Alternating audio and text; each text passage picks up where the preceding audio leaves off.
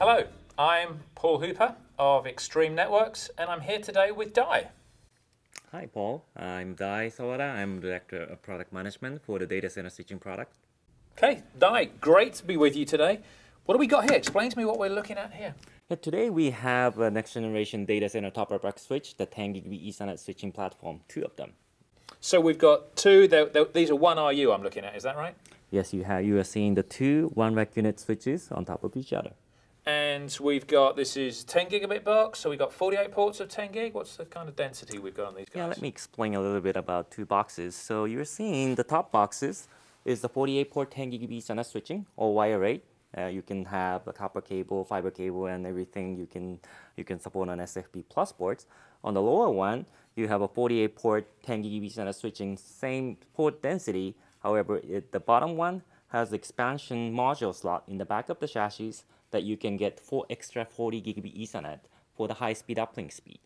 So the advantage of the bottom one is I get the expansion module in the back, and of the top one, the advantage of the top one is I get improved latency. What does it look like? The top one actually have a better design in terms of the getting a lower latency by using a PHY-less design. So if you would like to get the lowest latency possible, the top one is the, is the switching solution for you.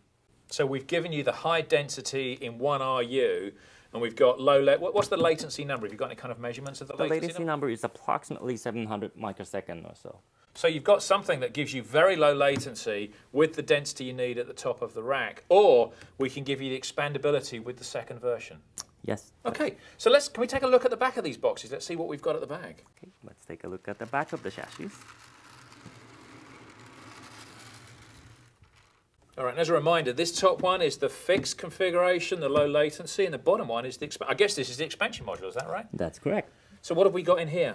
The back end on the bottom one, bottom switches, you are seeing the 4-port 40 gig Ethernet modules, which we call VIM4 40G4X, and has a 4-port of QSFP plus ports on it.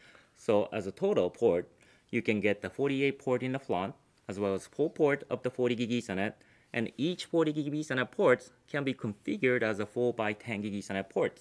So total port count will be 64 10 gig Ethernet port in just one rack unit. So let me understand and make sure I got that right. So in, in the top one, we have 48 ports of 10 gig at the front. In the bottom one, we have 48 ports of 10 gig. But we've also got this module here that allows you to do either 4 by 40 or 16 by 10, right? That's correct. Giving you 64 10 gigabit slots in one RU. That's correct. Wow, bro, very compelling. And, and what, walk me through what we've got here. It looks like we've got a couple of different versions of power supplies. So these two 670 boxes can support the AC power supply or DC power supply, and you can have a dual hot swappable redundant configurations.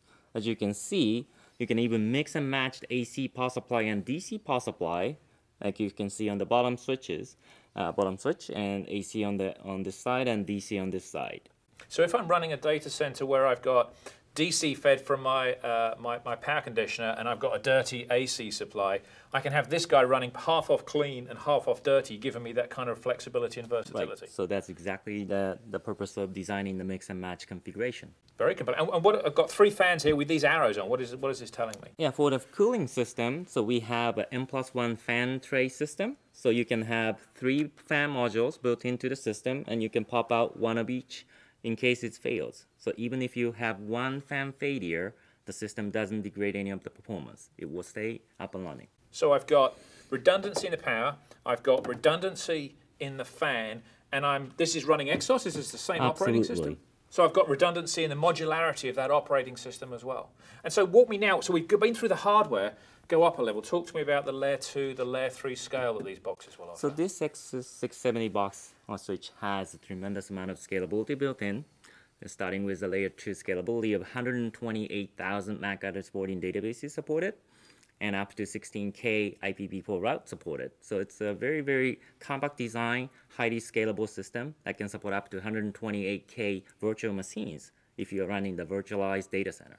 So if we, so great point. So we talk about the data center. If this, if we start thinking about the deployment in the data center, we've got the, the hardware resiliency, we've got the operating system with the scale built into it. Does these offer all of these kind of new features? The DCBX I hear being talked about. Is it kind of does it provide me those capabilities Absolutely. as well? Yeah, absolutely. The Summit 670, both of the model is full DCB compliant, so we can support PFC priority flow control, as well as the enhanced mesh transmission selection ETS, and the DCBX to support those parameters to be uh, propagated into the in the data center network.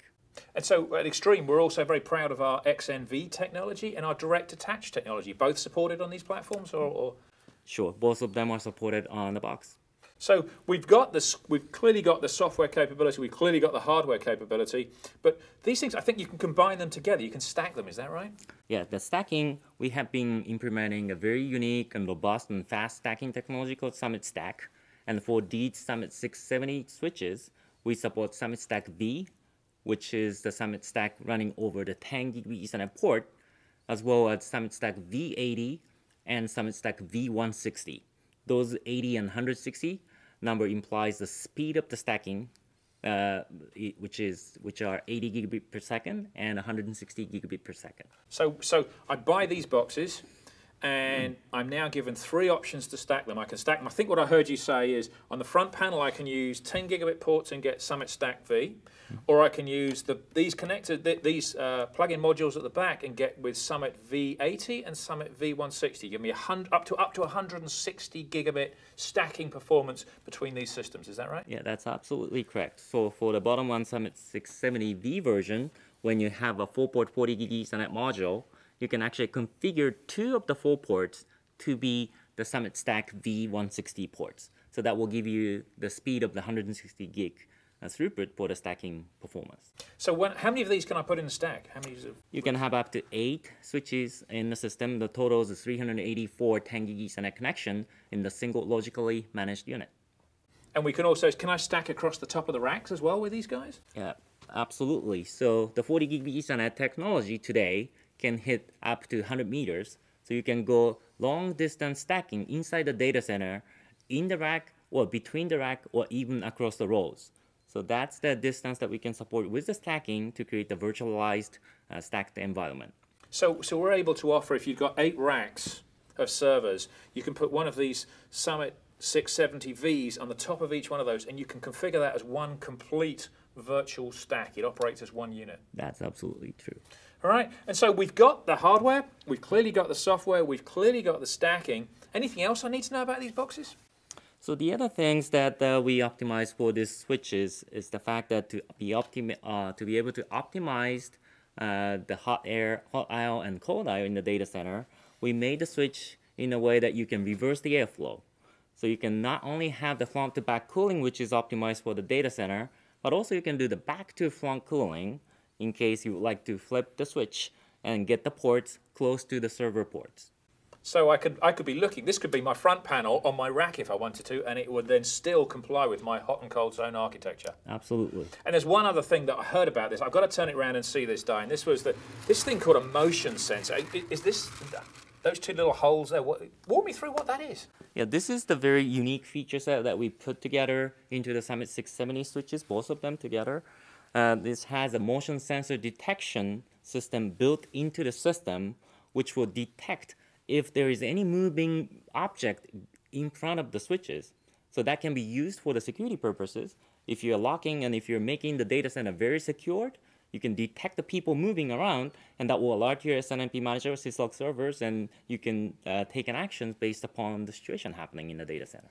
So the first switch in the industry that understands what's going on around it, not just electronically, but also physically what's going on around Absolutely. And that motion sensor detection can be used to shut down the LED off so that you can save power and you can make it more secure by hiding that the switch is working in active way. Well, thank you, Dai, for the time today. Thank you for designing really phenomenal products. Here we've got the Summit 670 family. As you heard, it comes in two variants.